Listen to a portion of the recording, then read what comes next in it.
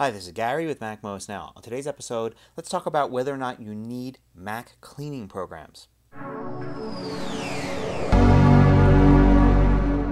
So I get asked this a lot. People see all these advertisements all over the internet for programs that claim to clean your Mac and give you better performance. There's a ton of them out there. So the question is, do you need these? Now I feel pretty passionate about this. I've been a Mac user for more than 25 years. I'm a power user. I've got all sorts of different Macs. I use them with all sorts of different applications all day long. And I don't use any of these cleaning programs and never have. Let's look at what they claim to do and why you really don't need them. So I went through all the different websites for all these different cleaning programs, and they all list almost exactly the same things that they do. So here's a quick list of some of the items. Clear caches, clear logs, remove trash, remove universal binaries, languages, remove apps, and remove leftover app files. So what's the common theme here? The common theme is files that you supposedly don't need anymore. It will go find them and remove them from your hard drive. So how can removing files from your hard drive improve performance? Well, in theory, you're using empty hard drive space as a memory cache. So you're using the memory on your Mac when you run applications, and then you're using empty hard drive space to kind of expand that memory. So things that you need all the time when you're running applications are in memory, and things you don't need as often are stored on the hard drive. So it's basically the sharing between the hard drive and memory to get things done on your Mac. So the more empty hard drive space, the better your performance would be, theoretically. Now, beyond a certain point, you don't need that much. So, so for instance, if you have a 500 gigabyte hard drive, pretty modest hard drive, um, you might have, say, 100 gigs free. Well, for virtual memory, you may only use 10, 20 gigs of that, even if you're using some pretty intense applications. So adding more empty space to your hard drive isn't going to necessarily increase performance.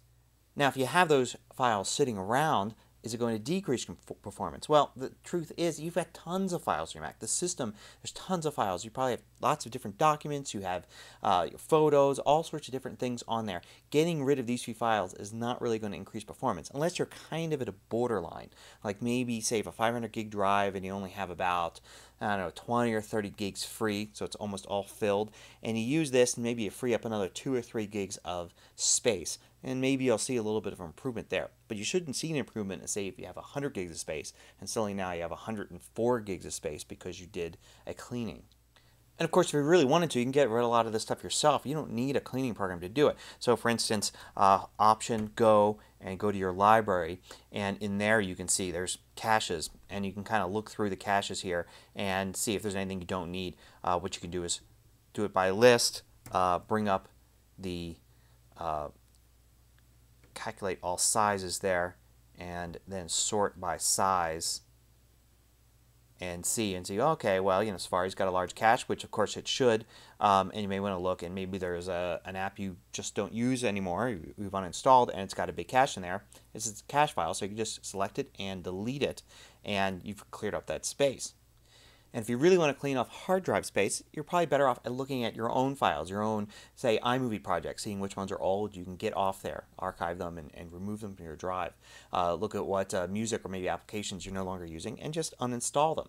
Uh, that will probably save you a lot more space, free up a lot more space in your hard drive than using a cleaner program that's going to look at little things like log files and little cache files and things like that.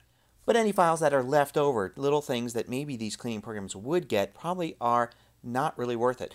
Think about this. Think about how you can get better gas mileage from your car if you have less weight in your car. So, do you take the time to actually look in the trunk of your car and see what you don't need? Maybe an old pair of gloves, maybe a beach chair, uh, you know, maybe just a few kids' toys in there. Take them out. Take a few pounds out of your car and you get better gas mileage. Well, you're not really going to even notice the difference probably in gas mileage by taking a few small items out, just like you're really not really going to notice the difference in performance by cleaning out a few log files and cache files. And actually, the best bang for your buck for clearing out hard drive space is simply get a bigger hard drive. Now, for a lot of us, this may not mean actually upgrading the hard drive in your Mac. It may mean simply taking the 30 bucks that you would have spent on a cleaning program and put that away towards your next Mac. And when you get your next Mac, realize that, well, you know, that 500 gigabyte drive wasn't enough for me. I do a lot of home video. Let me go and make sure I get a bigger hard drive that's more appropriate for what I do and put that money towards that. That's actually going to get you a lot more per dollar than actually using a cleaning program to take a few gigs of space off your drive.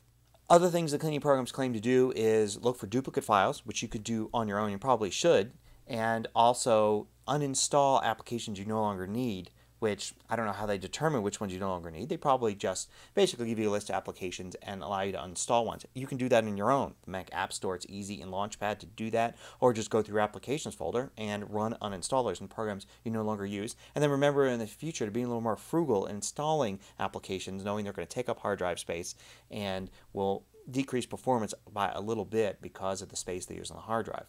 Well, what about system maintenance tasks? People ask us a lot. Oh, you know, it, it runs these regular maintenance tasks that'll clean up things in your Mac and make it run better. Well, they no longer even list these on most of the websites because Mac OS 10 does it automatically. It has done it for many versions. This is kind of an old-fashioned thing from the 90s, from last decade, where op operating systems weren't very good at running their own little maintenance tasks to clean things out. So if you're coming from old Windows systems or old Mac systems and knew that there was these little mysterious tasks that you could run that would optimize performance, it's not something you need to worry about now with Snow Leopard or Lion because they do that automatically.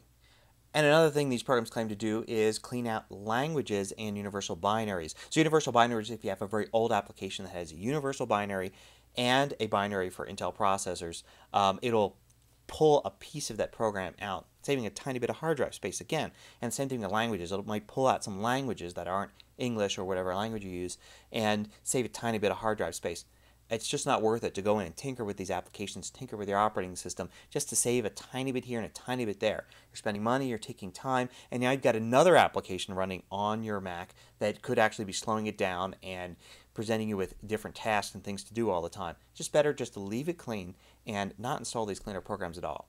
And I know this isn't a popular opinion. I know if you go to a lot of other Mac websites, they not only recommend these things, but they actually have articles about, you know, where to go to get them, which ones are best, and all that. And there's a lot of advertising there. These cleaner programs advertise at different sites, including MacMost, and they also have affiliate programs where maybe the the uh, different sites get money for each sale that they make. So there's a lot of that going on too, which may make it look like these programs are more required than they are.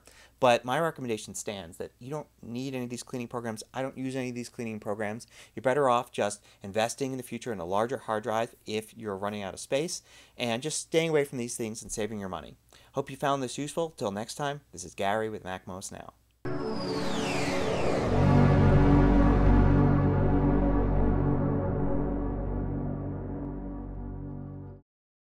Want more video tutorials? Just go to MacMost.com, click on the videos link at the top of the page, and then you can view all of the hundreds of MacMost videos by category.